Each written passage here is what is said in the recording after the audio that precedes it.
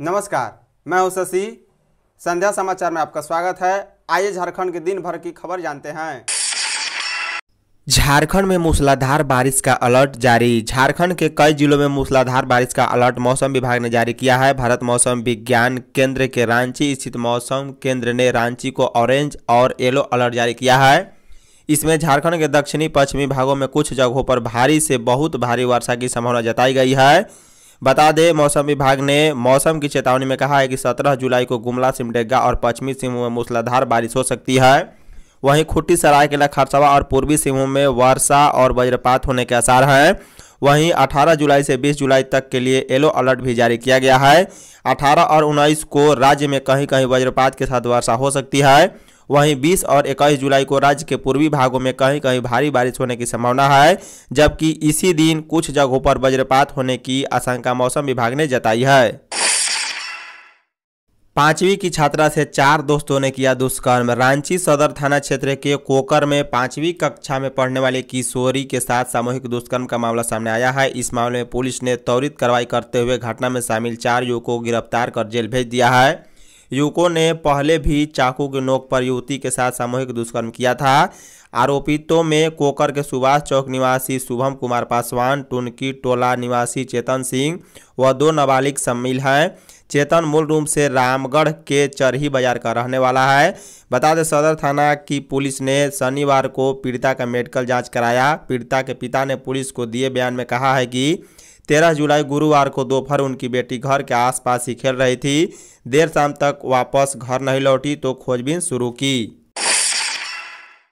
सड़क हादसे में गढ़वा के दो युवकों की मौत। गढ़वा जिला के कांडी थाना क्षेत्र अंतर्गत भंडरिया गाँव में दर्दनाक सड़क हादसा हो गया, जहाँ अज्ञात वाहन की चपेट में आने से मोटरसाइकिल सवार दो लोगों की मौत हो गई और एक गंभीर रूप से घायल है। हादसे में मरने वालों 25-25 वर्षीय दो युवक शामिल है। मिली जानकारी के अनुसार इस दुर्घटना में मानदेव रजवार के लगभग 25 वर्षीय पुत्र चंदन रजवार और शंभू रजवार के 25 वर्षीय पुत्र अंकेश रजवार की मौत हो गई है। वहीं दुखन रजवार के पुत्र उपेंद्र रजवार उर्फ़ फेकू गंभीर रूप से घायल है। पहले घायल अंकेश और उपेंद्र को निजी वाहन से मझिया रेफरल अस्पताल ले जाया गया, जहाँ पर मौके पर मौजूद डॉक्टर रजनीश कुमार सिंह ने अंकेश कुमार को मृत घोषित कर दिया। गंभीर रूप से घायल उपेंद्र रजवार को प्राथमिक उपचार करते हुए बेहतर इलाज के लिए गढ़वा सदर अस्पताल रेफर किया गया। DGP Ajay Kumar Singh crime control को लेकर 19 जुलाई को करेंगे समीक्षा। डीजीपी अजय कुमार सिंह 19 जुलाई को राज्य में घटित गंभीर आपराधिक घटनाओं और क्राइम कंट्रोल को लेकर सभी जिलों के एसपी और रेंज डीआईजी के साथ पुलिस मुख्यालय में समीक्षा बैठक करेंगे। इस दौरान वह इस बात की भी समीक्षा करेंगे कि पूर्व में उन्होंने क्राइम कंट्रोल को लेकर जिन बिंदुओं पर पुलिस अधिकारियों को टास्क दिया था, उनका अनुपालन कितना किया जा रहा है या नहीं, समीक्षा के दौरान भविष्य के लिए अपराधियों के खिलाफ कार्रवाई की योजना तैयार की जाएगी। बता दें डीजीपी की ओर से बैठक के लिए सभी जिलों के एसपी को एजेंडा तैयार कर उपलब्ध करा दिया गया है ताकि वे तैयारियों के साथ बैठक में शामिल हो सके। बैठक का पहला एजेंडा है 2020 से लेकर 30 जून 2023 तक रंगदारी के लिए हत्या, डकैती, लूट, छिनतई, आर्म्स एक्ट, फिरौती के लिए अपहरण और संगठित गिरोह के द्वारा रंगदारी मांगने से संबंधित कितने मामले दर्ज किए गए?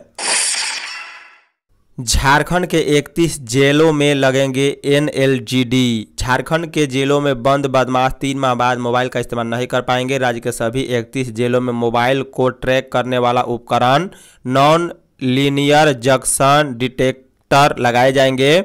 यह कार्य अगले तीन माह में पूरा हो जाएगा। इसके लिए गृह विभाग ने जेल मुख्यालय को राशि आवंटित कर दी है।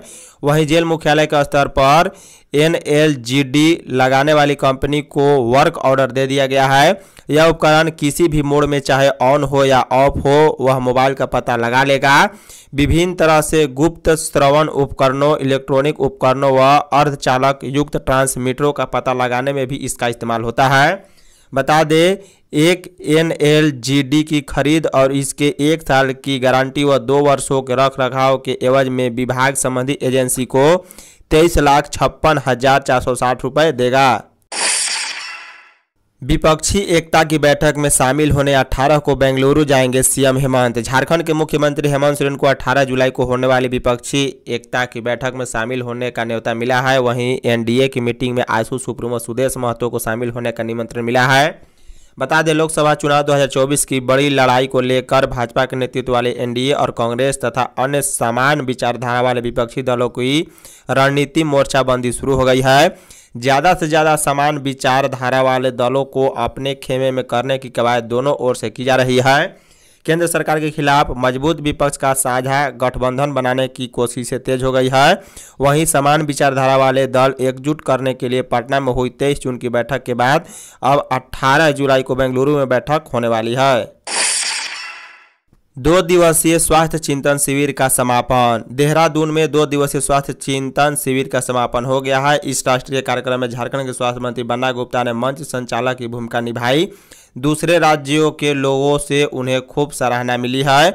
बता दें, उत्तराखंड के देहरादून में चल रहे दो दिवसीय राष्ट्रीय स्वास्थ्य चिंतन शिविर का समापन हो गया। इस दो दिवसीय स्वास्थ्य चिंतन शिविर की खासियत यह रही कि देश के सभी राज्यों तथा केंद्र शासित प्रदेशों के स्वास्थ्य मंत्रियों, अधिकारियों ने एक साझा मंच पर हेल्थ सिस्टम को बेहतर बनाने का चर्चा की। वहीं विभिन्न राज्यों की ओर से अलग अलग सुझाव भी आए, जिस पर स्वास्थ्य मंत्री बाद के दिनों में निर्णय लेंगे।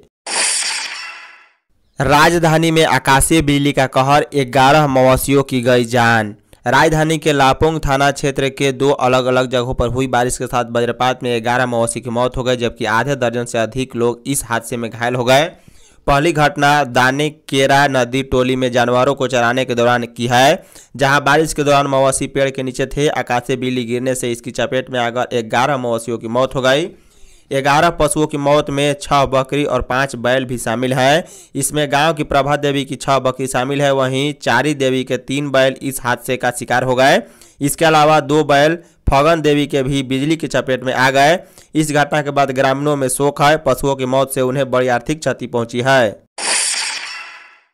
अग्निवीर में नौकरी के नाम पर 11 लाख की ठगी। साहेबगंज के महाराजपुर नया टोला में चाय नाश्ते की दुकान चलाने वाले सकलदीप प्रसाद के दो बेटों को सेना में नौकरी दिलाने के नाम पर मोती झरना के एक युवक ने करीब 11 लाख रुपए ऐठ लिए।